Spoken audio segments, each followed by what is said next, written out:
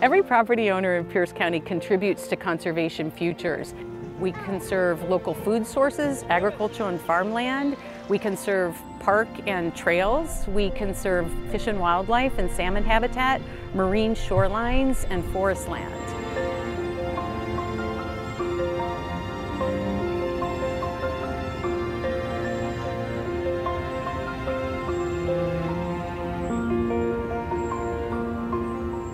Some of the Conservation Futures properties that get a lot of use are the Foothills Trail, Tacoma Nature Center, uh, Meridian Habitat Park.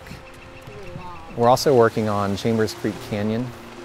We're really fortunate that Conservation Futures is here so that it can help communities, big and small, create special places for not just the people who are living here now, but for the future generations. So I'm standing in Springbrook Park and it's located in the city of Lakewood. This area was geographically isolated and then there's a place across the creek that is also very isolated by I-5 and Clover Creek. So by purchasing the property, we were able to put in a bridge. We were able to connect these two neighborhoods. We have an amazing community garden. They play here, they gather here, they visit here. They've become a neighborhood.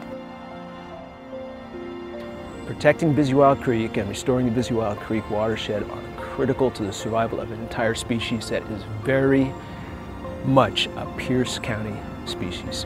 Conservation Futures has played a central role in the recovery of both steelhead and Nisqually Chinook. These are iconic fish, right?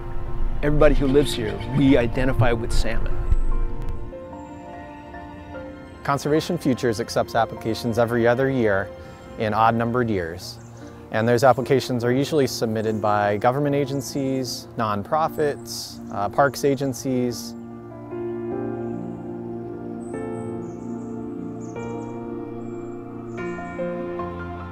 It's considered a very well-run program, very transparent, with, in my experience, active and robust participation by the, especially by the Citizens Committee.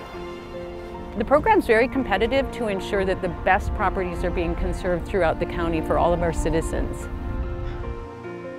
As the population rises and more and more people move to Puget Sound and to Pierce County, we need to ensure that we've got the resources as well as those opportunities to get out and recreate and enjoy nature and to rejuvenate our own souls.